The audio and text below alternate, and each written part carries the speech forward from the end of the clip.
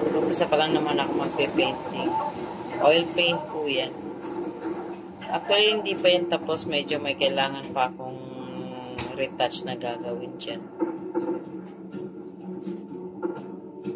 So, in the coming days, magpe-paint uli ako. Bibili pa ako ng maraming canvas.